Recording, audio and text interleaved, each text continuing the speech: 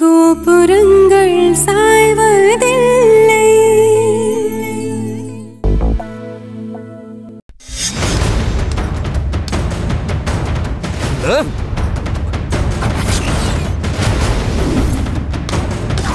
எங்க உன் பையன்? அவன் இங்க இல்ல. நாங்க ரெண்டு பேரும் போட்டோவை பார்க்க கூடாதுன்னு ஏன் சொல்ற? நானே இன்னும் மாப்பிள்ளை கிட்ட பேசலப்பா. அவர்கிட்ட பேசிட்டு அதுக்கப்புறம் உங்ககிட்ட காட்டலாம்னு நினைச்சேன். உன்ன ஒண்ணும் பண்ண மாட்டேன். உங்க அப்பனை கொண்டுடுவேன் என்ன ஊரை விட்டு கிளம்புறியா? இல்ல உங்க அப்பன்னு சொல்லிட்டு திரியறியே. இவனை போட்டு தள்ளட்டுமா? நீங்க சொல்ற மாதிரியே நாங்க இந்த ஊரை விட்டு போயிடுறோம்.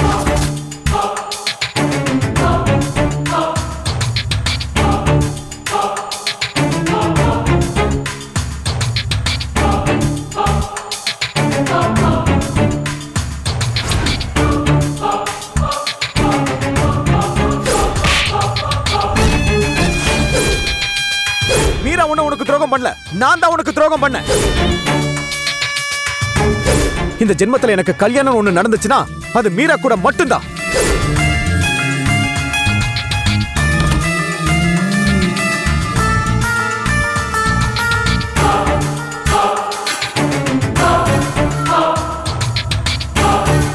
வர்ஷா? வர்ஷா?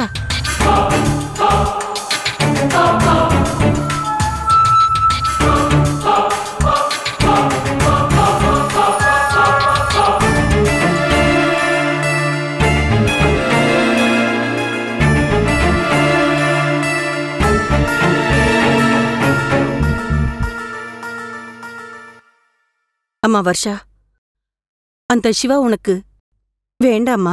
எனக்கு சிவா வேணுமா? எனக்கு சிவா தான் வேணும். வர்ஷா அவன் இப்பவே உன்னை இப்படி அடிக்கிறான். அது மட்டும் இல்ல அவன் வேற ஒரு பொண்ணை விரும்புறான். இப்படி ஒருத்தனை நீ கல்யாணம் பண்ணா உன்னோட வாழ்க்கை எப்படிம்மா சந்தோஷமா இருக்கும்? இல்லம்மா.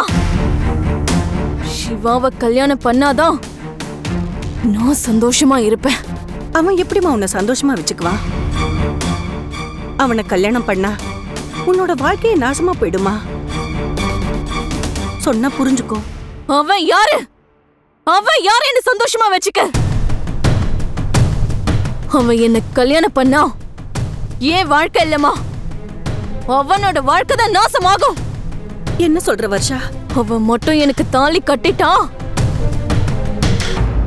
அதுக்கப்புறம் அவனை ஒவ்வொரு நிமிஷமும் நான் சித்திரவதை பண்ணுவேன்.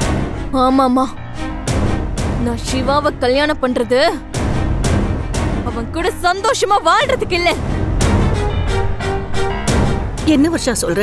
அவன் அந்த மீரா கழுத்துல தாலி கட்ட கூடாது அவன் என் காசுல படிச்சுட்டு நான் போட்ட சாப்பாட்ட சாப்பிட்டவன். அவன் எனக்கு போட்டியா வந்து நின்னா அது எனக்கு எவ்வளவு அசிங்கம் தெரியுமா? அவ என்னோட சிவாவை கல்யாணம் பண்ணி வாழலாம். அது மட்டும் நடந்தா எனக்கு எவ்வளவு அவமானம்? அது மட்டும் நடந்தா நான் செத்து போயிடுவேன். வர்ஷா அப்படியெல்லாம் சொல்லாதம்மா. அம்மா அந்த சிவா வேற யார் கழுத்துலயும் தாலி கட்ட கூடாது அதுக்கு நான் விடவும் மாட்டேன். அவன் ஏன் கழுத்துல மட்டும்தான் தாலி கட்டணும்? அவன் கூட நான் ஒரு நாள் கூட பொண்டாட்டியா வாழ மாட்டேன். அவன் தான் என் கழுத்துல தாலி கட்டணும். அப்படி அவன் என் கழுத்துல மட்டும் தாலி கட்டிட்டானா? அவனை என் காலு கீழே போட்டு மிதிச்சு. அவனை வாழ்நாள் பூரா எனக்கு அடிமையா வச்சிருக்கிறதுக்கு தான் அவனை எனக்கு தாலி கட்ட சொல்றேன். அவன் மட்டும் எனக்கு தாலி கட்டிட்டான். அதுக்கப்புறம் அவனை ஒவ்வொரு நிமிஷமும் நான் சித்திரவதை பண்ணுவேன். அம்மா வர்ஷா அவனை பழி வாங்குறேன்னு நீ உன்னோட வாழ்க்கையும் சேர்த்து அழிச்சுக்கிறமா? அம்மா நீ எதுவும் பேசாத. நீ ஏதாவது பேசி என் மனசை மாத்த ட்ரை பண்ணாத. என்னோட வாழ்க்கை அழிஞ்சாலும் சரி நான் இதுல இருந்து மாற மாட்டேன். அவன் தான் என் கழுத்துல தாலி கட்டணும். அவன் தான் எனக்கு புருஷன். அவன் மட்டும் தான் எனக்கு புருஷன். ஆனா நான் அவனுக்கு பொண்டாட்டியா வாழ மாட்டேன். நான் மட்டும் இல்ல அவனுக்கு வேற யாரையும் பொண்டாட்டியாக விட மாட்டேன். டேய் சிவா நீ எனக்கு மட்டும்தான்டா. எனக்கு நீ வேணும் வேணும் வேணும். வர்ஷா மா நீ ரூமை விட்டு வெளியில போ. என்ன கொஞ்ச நேரம் தனியா இருக்க விடு. வர்ஷா வர்ஷா போமான்னு சொல்றேன்ல. போ. போமா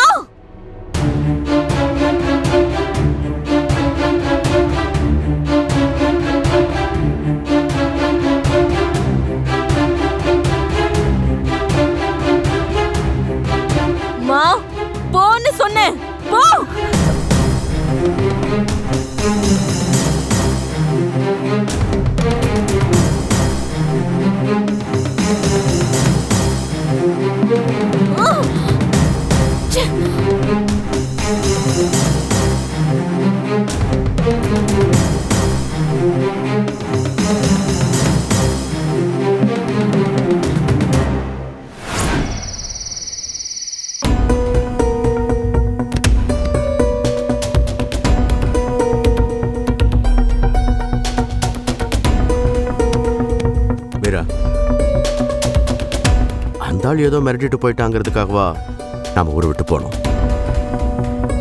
என்னம்மா அவன் என்னை கொண்டுடுவன் பயமுத்திட்டு போயிருக்கான். கொன்னா கொண்டுட்டு போட்டோமே.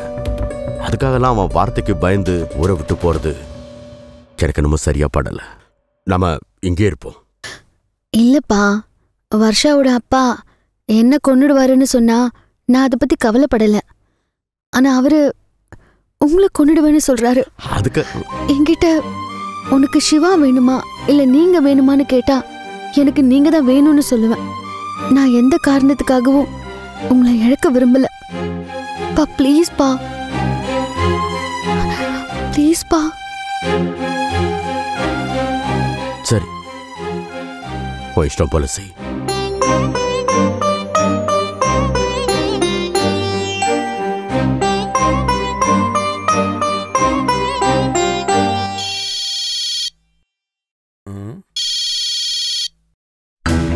ஐயா. ஆ. ஐயா போன். இதோ வர. யார் மூர்த்தி ஏதோ புது நம்பரா இருக்கு எந்த நம்பரா இருந்தாருடா? ஆன் பண்ணி யாருன்னு கேளு. ஹலோ சொல்லுங்க. ஆ, தேவராஜ் சார் இருக்காரா? நீங்க யார் சார்? என் பேர் பாஸ்கர். ஆ, தேவராஜ் சார் இருக்காரா? ஐயா பக்கத்துல தான் இருக்காரு. யாருன்னு கேட்க சொன்னாரு. பாஸ்கர்னு சொல்லுங்க. அவர் புரிஞ்சுப்பாரு. ஐயா பாஸ்கர்னு சொல்றாரு. பாஸ்கரா? யார் அது? ஐயா பாஸ்கர் யாருன்னு யோசிக்கிறாரு. நீங்க எந்த பாஸ்கர்? அவர்கிட்ட சொல்லுங்க. ஒரு நாள் பொண்ணு கேட்டு என் வீட்டுக்கு வந்திருந்தாரு. அப்பதான் அவர் கார்டு கொடுத்துட்டு போனாரு. அந்த பாஸ்கர்னு சொல்லுங்க. ஐயா நீங்க அவர் வீட்டுக்கு பொண்ணு கேட்டு போனீங்களா? அப்ப நம்பரு ஆ குடு குடு குடு குடு குடு குடு. ஆ, ஹலோ. ஆ, வணக்கம் பாஸ்கர் சார். சாரி சார் சட்டுன்னு உங்க பேரு ஞாபகத்துல வரல. சொல்லுங்க சார் என்ன விஷயம்? திடீர்னு ஃபோன் பண்ணிருக்கீங்க? ஆச்சரியமா இருக்கு. உங்ககிட்ட ஒரு முக்கியமான விஷயம் பேசணும். என்ன விஷயம்? சொல்லுங்க சார் அது தப்பா எடுத்துக்க மாட்டீங்களே? அதெல்லாம் ஒண்ணு இல்ல சார் என்ன விஷயம்னு சொல்லுங்க. நீங்க எனக்கு ஒரு உதவி பண்ணணும். உதவியா? என்ன உதவி? சொல்லுங்க சார் என்ன உதவியா இருந்தாலும் நான் செய்யறேன் அது சார் தயங்காம சொல்லுங்க சார் நீங்க எங்களுக்கு உயிர் பிச்சை கொடுக்கணும் சார். சார் என்ன சார் சொல்றீங்க? உயிர் பிச்சையா? நீங்க எங்களுக்கு உயிர் பிச்சை கொடுக்கணும் சார். சார் என்ன சார் சொல்றீங்க? உயிர் பிச்சையா? கொஞ்சம் புரியுற மாதிரி தெளிவா சொல்லுங்க சார். அத நேர்ல வந்து உங்ககிட்ட சொல்றேன். அவ்வளவுதானே? நான் உடனே இப்போ உங்க வீட்டுக்கு புறப்பட்டு வரேன். இல்ல நீங்க தப்பா எடுத்துக்கலனா உங்க வீட்டு அட்ரஸ கொஞ்சம் சொல்றீங்களா? நானே உங்க வீட்டுக்கு வந்துடுறேன். அந்த கார்டுல அட்ரஸ் இருக்குமே. ஆ இருக்கு. பட் இதுல பாம்பே அட்ரஸ் தான் இருக்கு அதான் கேட்டேன். சரி நோட் பண்ணிக்கோங்க.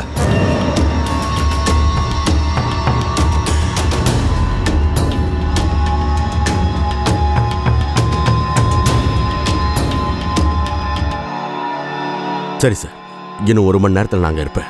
ஓகே வாங்க. எங்க வீட்டு கதவு எப்பவும் உங்களுக்காக திறந்தே இருக்கும். வாங்க. ரொம்ப நன்றி சார்.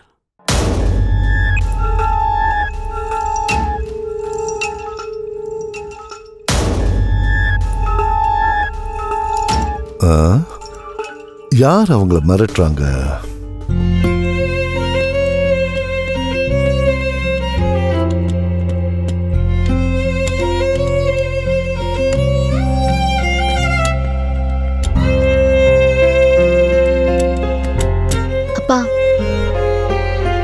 போலாம்ப்பா. வாமா ஏம்பா எங்கப்பா போறோம்?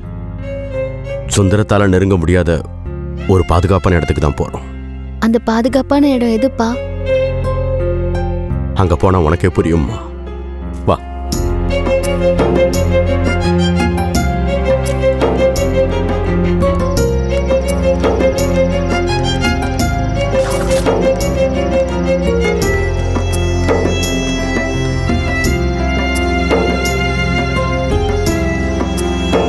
வாமா போலாம்.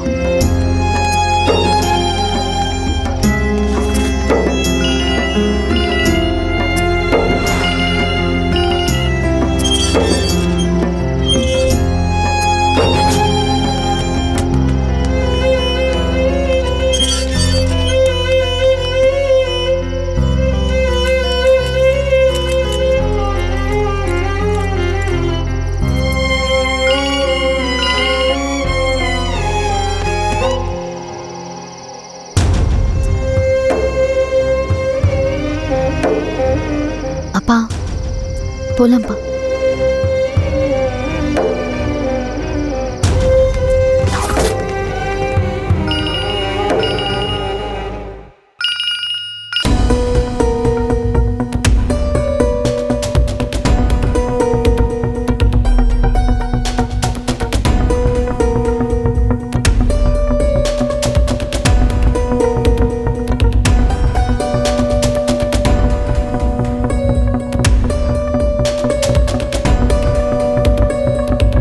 என்னங்க? ஏன் ஒரு மாதிரி இருக்கீங்க? அது ஒன்றும் இல்லை வாசுகி.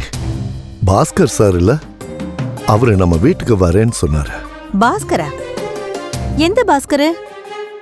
அதான் வாசுகி அன்னைக்கு கோவில்ல ஒரு பொண்ணை பார்த்து நமக்கு ரொம்ப பிடிச்சு போய் அவங்களுக்கு தெரியாம ஃபாலோ பண்ணிட்டு வீட்டுக்கு போய் பொண்ணு கேட்டோமே அத மறந்துட்டியா? ஐயோ அந்த பொண்ணா?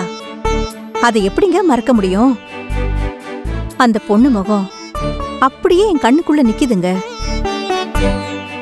சரி அந்த பொண்ணுக்கு என்ன? அந்த பொண்ணோட அப்பா தான் பாஸ்கர். அவரு தான் நம்ம வீட்டுக்கு வரேன்னு ஃபோன் பண்ணாரு. அவரா வராரு? அப்படின்னா ஏதாவது நல்ல செய்தி சொல்ல வராரோ?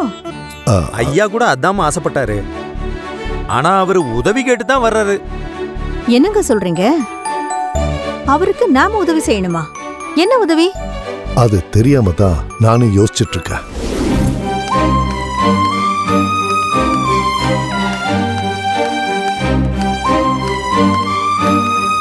மீரா ஏதாவது ஆட்டோ இருந்தா பாருமா கால் ரொம்ப வலிக்குது. என்னப்பா? ஏதாவது பண்ணுதா?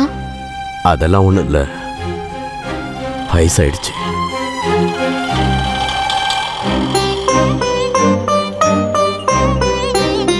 நீ என்னம்மா ஒரு மாதிரி இருக்க? ஒன்றும் இல்லைப்பா. சிவாவோட அம்மா நம்ம வீட்டுக்கு வந்து நீதான் என் மருமகன்னு சொல்லிட்டு போனதுலேருந்து அந்த சந்தோஷமான நாள் எப்போ வரும் எப்போ வரும்னு ஆசையோட நான் காத்துட்டு இருக்கேன் ஆனா எனக்கு அந்த சந்தோஷமான வாழ்க்கை வரலையேப்பா. ஏன்பா எனக்கு மட்டும் இதெல்லாம் நடக்குது. எப்பவும் நான் ஆசைப்பட்ட வாழ்க்கை எனக்கு கிடைக்க மாட்டேங்குது. நான் ஆசைப்பட்டவங்கெல்லாம் என் கூட இருக்க மாட்டேங்கிறாங்க. அந்த கடவுளுக்கு என்ன பிடிக்கலையப்பா. அதனாலதான் எனக்கு பிடிச்சவங்களெல்லாம் அவர் பறிச்சுக்கிறாரா. இல்லம்மா இது பாரு. இப்போ கூட சொல்லு. நம்ம வீட்டுக்கே திரும்பி போயிடலாம். என்னை பொறுத்த வரைக்கும் ஒண்ணு நீ சிவா கூட வாழணுமா இல்ல நம்ம இங்கேயே செத்து போயிடலாம். இல்லப்பா என் மனசுல இருந்த சங்கடத்தை தான் சொன்னேன். இதோட மறந்துடுங்க யாரும் என் கூட இல்லாட்டியும் பரவாயில்லப்பா. நீங்க என் கூட இருக்கணும்ப்பா. என்ன உங்க மகளா நினைக்கிற உங்க நல்ல மனசு எப்பவும் என் கூட இருக்கணும்ப்பா. எனக்கு பிடிச்சவங்கள என்கிட்ட இருந்து பிரிக்கிற கடவுளுக்கு கூட உங்களை நான் விட்டு கொடுக்க மாட்டேன்ப்பா. நீ என் மருமகளா இருந்திருந்தா எக்கடாத்து கெட்டு போன்னு விட்டுருப்ப ஆனா நான் உன்னை மகளா பாக்குறேன். அதனாலதான் உனக்கு ஒரு நல்ல வாழ்க்கை அமைச்சு கொடுக்கணும்னு இவ்வளவு நாளா போராடிக்கிட்டு இருக்கேன். அப்பா அது என்னைக்கா இருந்தாலும் பிரச்சனை தான்ப்பா. என்னால உங்களுக்கு எந்த பிரச்சனையும் வரக்கூடாதுன்னு தான் நான் இப்ப உங்களை கூட்டிட்டு போறேன். இன்னைக்கு உனக்கு அந்த வாழ்க்கையை என்னால அமைச்சு கொடுக்க முடியல. அந்த வருத்தம் எனக்கு இருக்குமா? ஆனா இப்ப சொல்றேன் கேட்டுக்க. என்னைக்காவது ஒரு நாள் அந்த வாழ்க்கை உனக்கு அமைச்சு தந்தே தருவேன் அந்த நம்பிக்கை எனக்கு இருக்கு. சரிப்பா. அப்பா இங்க பக்கத்துல தான் ஆட்டோ ஸ்டாண்ட் இருக்கு. கொஞ்சம் நடந்து போய் எடுத்துக்கலாம். சரி. வா. அண்ணா. ரொம்ப தேங்க்ஸ் என்னாச்சு? எதுக்கு எனக்கு தேங்க்ஸ் எல்லாம் சொல்லிட்டு இருக்க? எதுக்கா?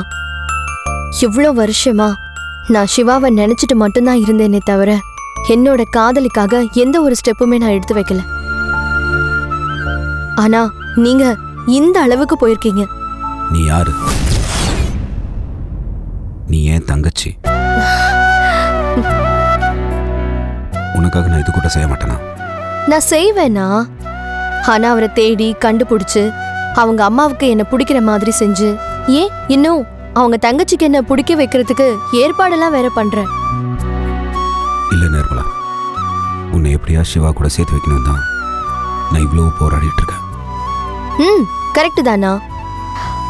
அதுக்கு தான் நானும் வெயிட் பண்ணிட்டு இருக்கேன் நீ எப்படியாவது என்ன சிவா கூட சேர்த்து வச்சுட்டேன்னு வெய் இப்படி அப்பப்போ இன்ஸ்டால்மெண்ட்ல சொல்லாம சேர்த்து வச்சு மொத்தமா நான் உனக்கு நன்றி சொல்லிடுவேன். மொத்தமாக நன்றி சொல்லிட்டு இந்த அண்ணனை மறந்துட்டு போயிடலான்னு பார்க்குறேன் அப்படி தானே அண்ணா எனக்கு சிவா வேண்டாம். உன்னை மறக்க வைக்கிற எதுவும் எனக்கு வேண்டாண்ணா. என்னாச்சு? ஏன் கோச்சுக்கிற? நான் விளையாட்டுக்கு தானே பேசிட்டு இருக்கேன். இல்லைண்ணா வேண்டாம். எனக்கு எந்த ஒரு சிவாவும் வேண்டாம். எப்போ நீ இப்படி சொல்லிட்டியோ? அப்புறம் எதுக்கு இந்த வாழ்க்கை?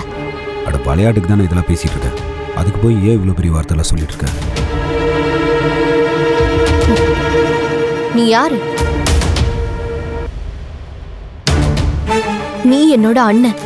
நான் உன்னோட தங்கச்சி. எப்படி நான் நான் உன்னை போய் மறப்பேன்னு நினைச்சேன் ஏய் என்னாச்சு உனக்கு? விளையாட்டுக்கு சொன்னதெல்லாம் ஏன் இவ்வளோ சீரியஸாக எடுத்து பேசிட்டு இருக்க? உன்னை பிரிஞ்சு என்னால் இருக்க முடியுமா? நீ கல்யாணம் பண்ணிட்டு போனா கூட வாரத்தில் ஒரு பத்து தடவையாச்சும் உன்னை வந்து பார்த்துட மாட்டேன். வந்தா நீ சங்கடம்லாம் பட மாட்டல வாரத்துல பத்து தடவை தான் வருவியா? சரி விடு ஒரு நாளைக்கு பத்து தடவை பார்க்க வரேன். போதுமா? சும்மா சொன்னனா? அண்ணா டென்ஷன் ஆயிட்டியா? நீ என்ன ஷாக் ஆக்குன? நான் உன்னை டென்ஷன் படுத்தி பார்த்தேன். அவ்வளவுதான். ம். நான் சிவாவை கல்யாணம் பண்ணிக்கிட்டு போனாலும் நான் எப்படின்னா உன்னை மறப்பேன். அண்ணா எனக்கு சிவாவை விட நீ தான் முக்கியம். அண்ணா நானே மறந்தேன் என் லவ் நீ தானே நான் திருப்பி கொடுத்த? நான் சிவா கூட இருக்கும்போது என் அண்ணனால தான் இந்த வாழ்க்கை எனக்கு கிடைச்சதுன்னு நான் எப்பவும் நினைப்பேன். எனக்கு தெரியும். எப்பவுமே என் தங்கச்சி என்னை மறக்க மாட்டான். நானும் என் தங்கச்சியை மறக்க மாட்டேன். ம். என்னை மறக்காம இருக்க. அன்னைக்கு ரோட்ல பார்த்த பொண்ணு எப்படியாவது உனக்கு கல்யாணம் பண்ணி வச்சு அவங்கள எனக்கு அண்ணி ஆக்கணும். இங்க பாரு. நீ யாரை கை நீட்டி கட்டிக்க சொன்னாலும் நான் என்ன ஏதுன்னு கேட்காம கண்ணை மூடிட்டு அவங்கள கட்டிக்கிறேன். போதுமா? ம் ம், போதும்.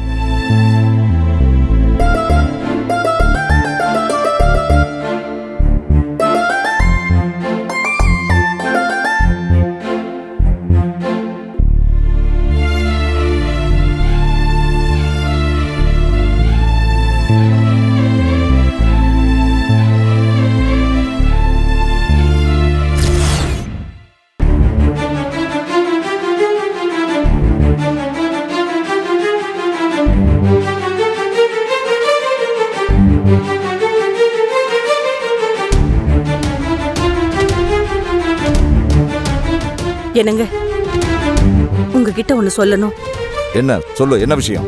வருஷா கிட்ட நம்ம வீடேறி வந்து அடிச்சிட்டு கட்டினா மீராவை தான் கட்டுவேன்னு சொல்லிட்டு போனவன உனக்கு இன்னும் தேவையான அவகிட்ட கேட்டேன். அதுக்கு அவ அவன் கூட சந்தோஷமா வாடுறதுக்காக கட்டி வைக்க சொல்லல.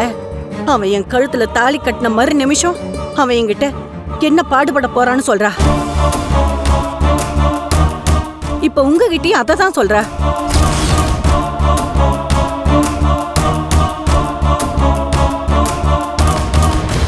மீராவுக்கு ஏதாவது ஆயிருக்குமோன்னு எனக்கு பயமா இருக்கு. சரி நான் இமீடியட்டா கிளம்புறேன்.